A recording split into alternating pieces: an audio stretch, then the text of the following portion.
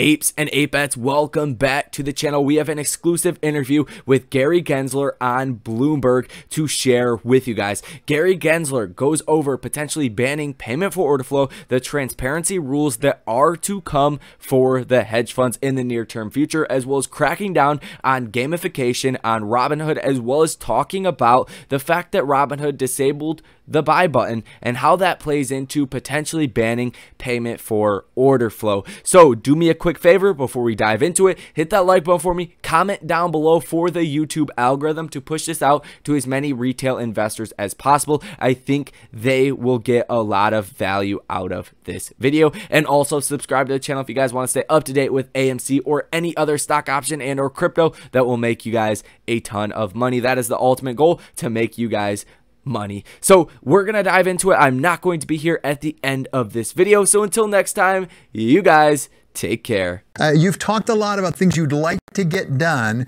but there are quite a few things that we haven't seen yet. Let's start with crypto because everyone loves to talk about crypto. You said you think a lot of these tokens really are securities. Are you seeing evidence actually there are things being done in this market that would be violations of the securities laws if the securities laws apply? Well, David, I thank you for inviting me here. And you're right, we do have a broad agenda, and crypto is part of that agenda. Uh, but it's an agenda really to make the capital work, its markets work better for the investing public and for the companies on the other side to drive more efficiency in these markets.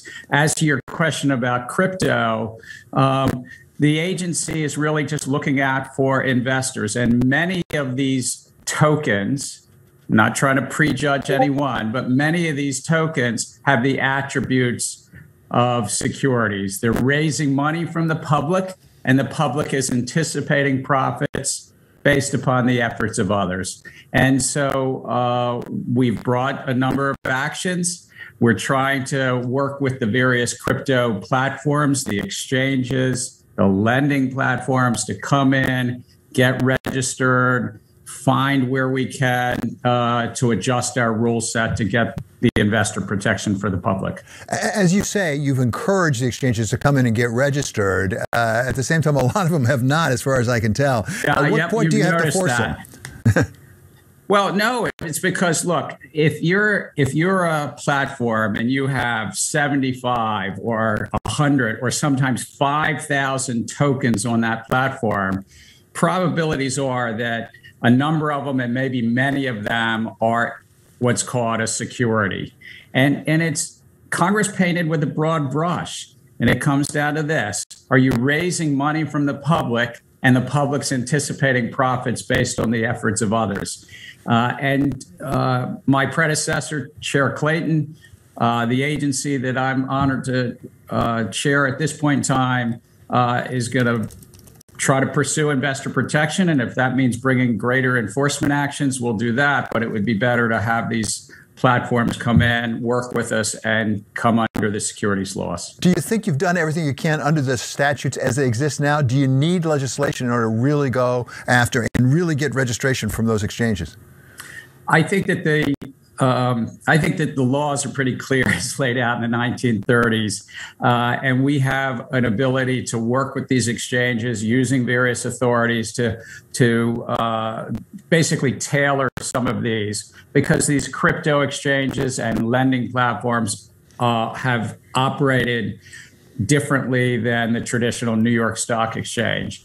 Um, but would it be helpful to work with Congress on some things? I've, I've said this in the past around some details around transfer agents and others. Yes. Uh, but it, it, unless uh, Congress says otherwise, we have to ensure there's investor protection in this space. And we're going to work with the Commodity Futures Trading Commission, where there's some that are commodity tokens, because m- while many of these are securities, some um, may be under their remit and we work together as two federal agencies. Let me turn, Gary, if I could, to a second item on the agenda in no particular order here, and that is payment for order flow, something that you've come out against.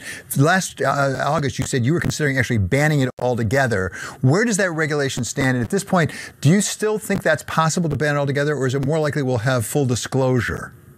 Well, again, what we're trying to do within uh, remit is help investors get a better deal on one side and companies raising money on the other side a better deal and drive greater transparency and efficiency in the middle of the market. So in the equity markets right now, if you place a market order, a retail market order, 90, 95% do not go to the lit exchanges, do not go to NASDAQ or New York Stock Exchange. They go to wholesalers and they don't have order by order competition. And part of that is because of what you just said, payment for order flow, which is yes, it's banned in, in the UK and in Canada and Australia. The European Union, through something called ESMA, is looking at that right now. And so I think it's natural that we look to say, how do we drive greater competition and efficiency of this market? And use the tools that Congress have given us. But are you keeping open the possibility, the option at least, of banning it altogether? And if so, when will you make a decision whether you'll do that or not? Well, it would be a decision for the five member commission. We would put it out to notice and comment so the public gets to weigh in. We benefit from the public's view, from the investor side the issuer side to basically a lot of our market right now is dark. It's not in the lit markets, David. It's dark and going to wholesalers and how we get more transparency and competition in the market. So each feature is on the table, whether it's something called the minimum increment or tick size or the national best best bid best offer and how the order routing works. And yes, that includes not just payment for order flow, but possibly what's called exchange rebates. So it all fits together. And we haven't served up a recommendation to the commission yet.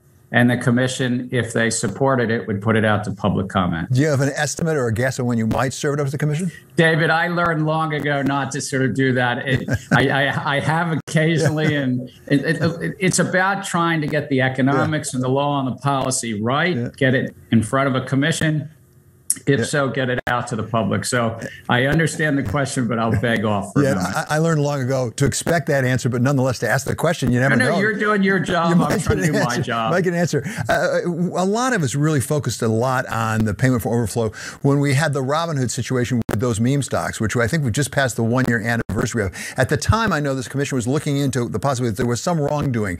Have you drawn a conclusion? The fact we haven't seen enforcement action does that con- suggest that maybe there wasn't any wrongdoing?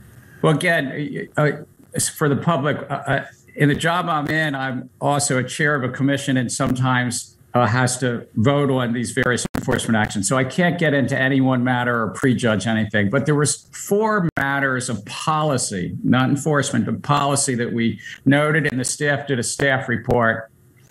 And one of them we're going to take up next week, actually, in an open commission meeting, is about the plumbing of the stock market, what's called clearing and settling, and how we can take some risk out of the system.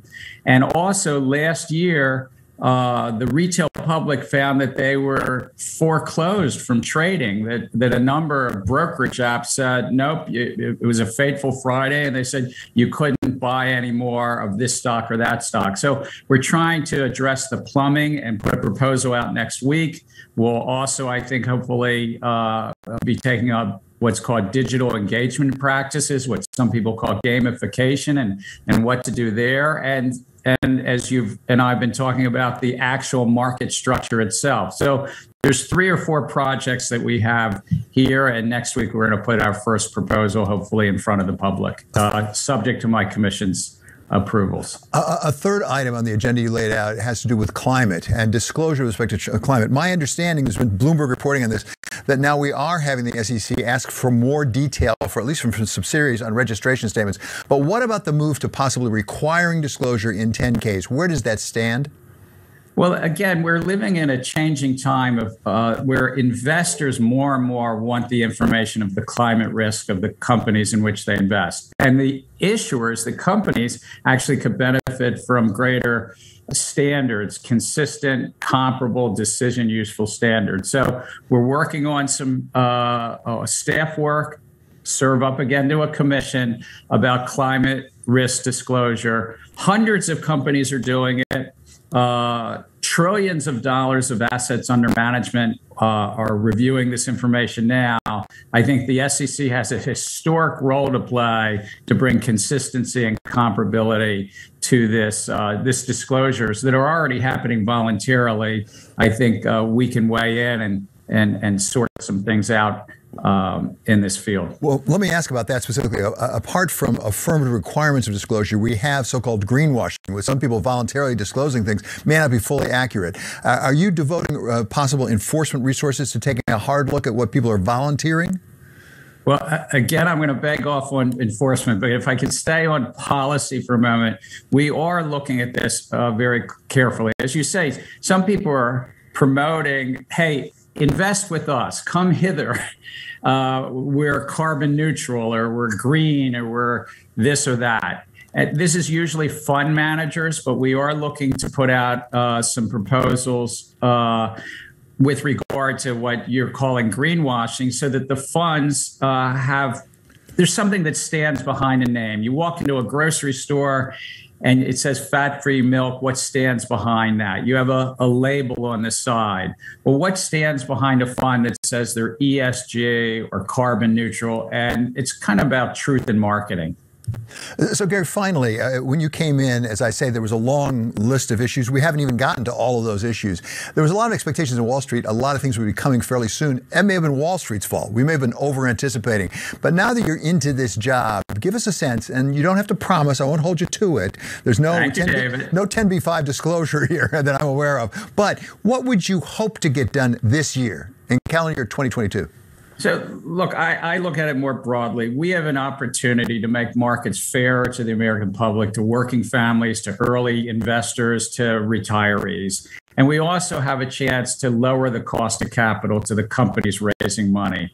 So we've got, uh, it's all public. We have nearly 50 of these projects. And uh, we sequence them when they're ready. When the staff has good thoughts, the economics, the law sorted out, and a commission weighs in, we have a little bit of compromise amongst our commissioners, and we put it out to comment. But I would hope this year, 2022, that we would put out many of these proposals. Hopefully, we'll even start to turn to finalizing some of them because we started the proposal phase last fall and we'd start to finalize. And of course, this is a multi year project. We don't want to rush things, we want to get it right, but we also want to get it out to the public and get the feedback.